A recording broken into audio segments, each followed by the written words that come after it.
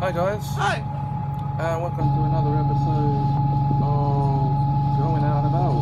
Indeed. This is episode 70. About time these were done. Yeah, well, But that's what you're thinking. yeah. I did the first four of these ones on my own. You did. Well, it's because I did them while you were up with your mother. Your mater. You did. Anyway, we are at the back of the 20. Going to the hard. We're not going to be stopping at the hard. Right, we're going to be getting off at Commercial Road.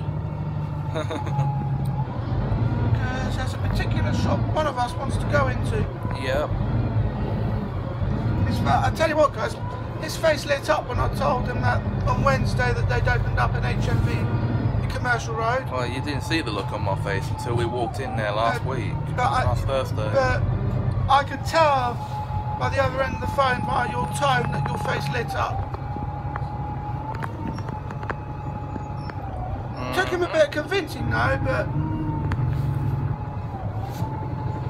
he did ask a sensible question as to where where did it open up, and, uh, and I said in the place of Mothercare. And Mothercare was there for a very long time. So hopefully that will Well, no, they did say they should be there permanently.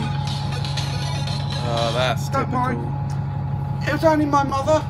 Speaking of my mother, earlier, That DOT. you're still calling her a decrepit old toad. She's gonna love you for that. I don't care, she ain't my mother. No, but she's mine and she's making a bit more of an effort with me than she did in the past.